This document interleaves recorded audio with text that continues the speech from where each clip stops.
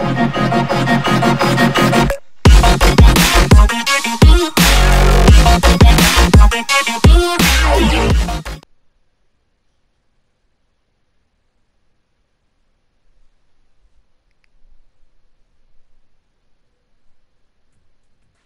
a life, eh, Freq? One minute you're playing 21 and horse on the courts in Harlem, and the next moment you're in the showroom, configuring the gunmetal and graphite exterior of your luxury car and your iPad mini. oh, I bet you get a crazy crowd when you drive that car around the block in the old neighborhood, huh? Yeah, living the dream. Mad pandemonium. But folks from back around the way are real proud of me. Yeah, I hear you. Local kid makes good.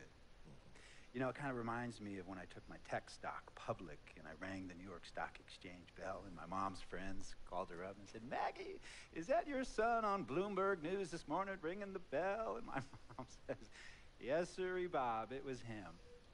That was a great moment, Freq. And you know, our lives, like a pearl necklace of great moments, all strung together with the finest silk thread of memories. And we have to be very careful how we cultivate those pearls and we thread that necklace. Does this meeting by any chance have to do with Vic Van Lier? I grew up in the burbs, Freq. I wasn't poor, upper middle class, comfortable. My daddy worked as an accountant for one of the largest insurance firms in the country. Smart with his money. Mom didn't have to work. I went to boarding school. And then my dad died of a heart attack when I was a freshman at MIT. I was a movie geek, wanted to be a civil engineer, but I made my fortune by becoming a hybrid of both those interests. My dad didn't want me to be an accountant. oh, listen to this. My best friend was a guy named Isidore. yeah, we called him Izzy. He was one of the smartest human beings I have ever met in my life. I mean, Izzy was taking second year college calculus courses as a high school sophomore, right? Straight A student, full ride to MIT. Izzy had the world at his fingertips. But he was always looking for trouble, and trouble found him. He ran with the wrong crowd. And when we got to MIT, he got this great job working for a financial consulting firm in Boston. But every weekend, he would phew, fly to Vegas. You see, Izzy had a system for counting cards in Vegas that had the big casinos on the strip. Oh, it's stymied. He would come back to MIT with suitcases filled with $200,000 in cold cash. What? Yeah. So your man Izzy was getting hit off like that? Like a fat rat in a cheddar cheese factory, Freq. Cheddar cheese. Okay, so what happened to this dude Izzy? Because he's dope. No, not dope. Dead. Oh. After he'd been missing for three weeks, the Nevada State Police never found hide nor hair of Isidore. And our friendship took a hit when he asked me to hang out with him in Vegas, and I said I wouldn't do it. Because I knew he was on a dark and twisted path in his life. And yes, yes, he was my dude. But no way was I gonna throw my life away trying to show my loyalty to a guy who really and truly didn't understand what loyalty was all about. So this meeting is about Vic. Correctamente. Okay, well, sir, Vic isn't Izzy. And why's that, Freq? Well, for one thing, you and your dead friend Izzy didn't grow up poor. Me and Vic grew up in a neighborhood where we had to look over our shoulder every two seconds to make sure nobody was going to walk up on us and rob us. True. Izzy and I did not grow up in the hood. But we, like you, thankfully grew up in a two-parent household. But even that wasn't enough for Izzy. He wasn't satisfied. He was always looking for a five-alarm fire when he already had the warmth and comfort of a loving family. This is not about class warfare, Freq. This is about the consequences of making bad choices and risking it all when you feel like you have nothing to lose. Vic is like a brother to me, sir. But you shouldn't be Brother Vic's keeper, Freq. Would a brother go looking for trouble and put your career and your livelihood at risk by getting into fights at nightclubs and seedy after-hour joints and then scream to the media, yeah, it's all good, I'm an FOF, friendo Freq. It's all misunderstanding. Y'all be haters, don't hate my game. I don't think a brother would do that to someone they really cared about, but a guy who looked at you like a meal ticket would. No. So you don't understand Vic. Really? I don't understand. No.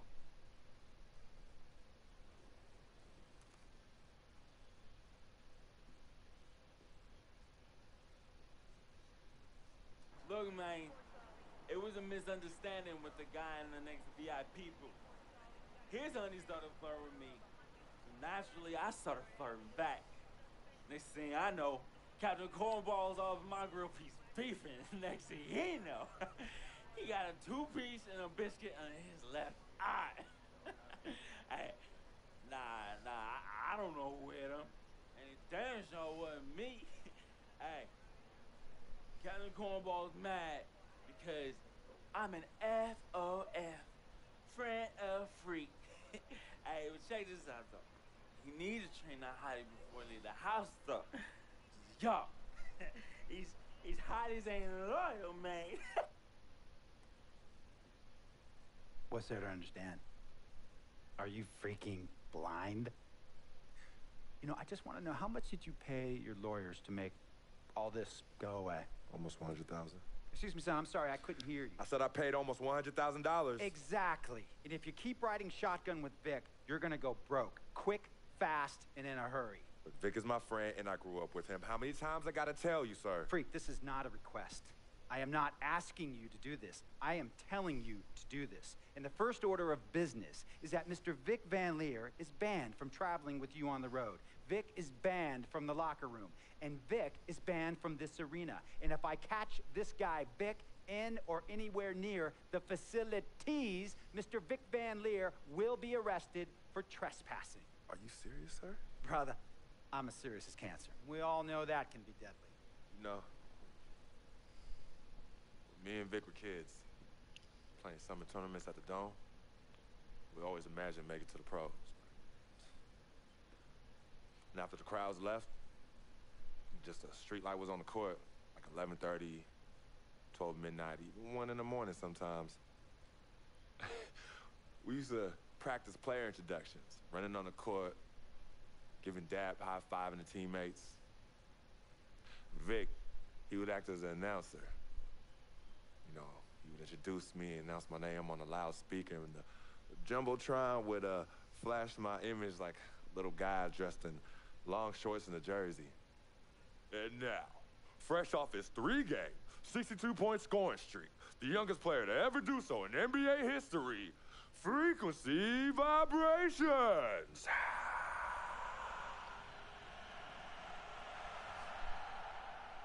So me and Vic would sitting in those empty bleachers at the dome and dream like nobody's business. And now, and now I'm living a dream. For real. And in so many ways, Vic was part of that. Please, listen to me. I mean, I know this guy's your dude from way back. Look, me and Vic go way back like the front seats of a 67 Cadillac. That's good. That's, we go way back. Did you say, did you say front seats? Front, front seats of a 67 Cadillac. We go way back like the front seats of a 67 Cadillac. Well, do you have any crickets? I'm going to be the hit once again at Herbie Island, Sun Valley Shindig because my fellow billionaires love it when I walk and talk that talk. So that almost sounds. No, let me tell you exactly what it sounds like. I respect, admire, and most importantly, love you as a human being and a role model. But I pay you a lot. And I mean, I pay you a lot of money to play for my team. And I am in this game to win it. And you can't win it with an albatross around your neck like Vic. So Vic is done. History. And here's some more lingo that I picked up from a former megastar who used to play for me several seasons ago. Thought I would never release him until I did. And now he's the sixth man on a struggling team in Venice. And yeah, I'm talking Venice with the canals and the gondolas and Harry's bar, not the street ballers next to the fortune tellers on the beach in Cali. This guy used to tell me when he thought there was a player destroying our team, don't be a hero. Cut that zero. And that is what I am telling you about Vic, Freq. Don't be a hero. Cut that zero. The only thing Vic brings into your life is headache and unwanted and unnecessary negative attention. And it will begin to affect your mindset. And when it affects your mindset, it's going to affect your play. And when it affects your play, it's going to affect my team. And when it affects my team, it's going to affect my money. And if it affects my money, Google Translate will become your new freaking friend. I want a championship ring, Freq, and I want you to help me get that ring. And banners after banners hanging from the rafters in this arena. So, Freq, hear me clearly and hear me good. V, G, G, Vic, gotta go!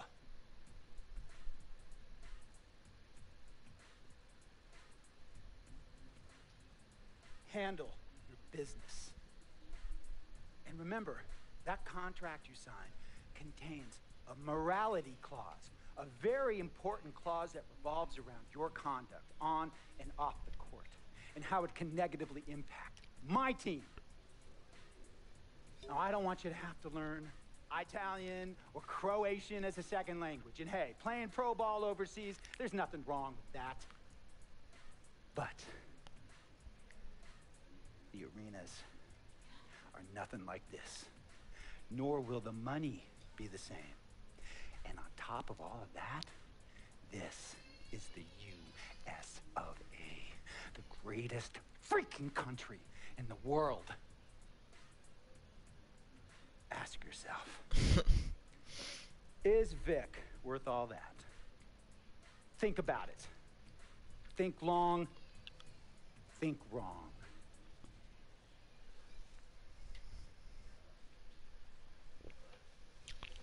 Dang. He, has his bad rap. It's not, and I understand some of his judgments might shadow his actual character. He's not that at all. Man, Vic, let me tell you something. We actually, like, we have love for each other. We're brothers. Blood couldn't make us any closer at all. I mean, he, he has so much um, loyalty to me and to my family.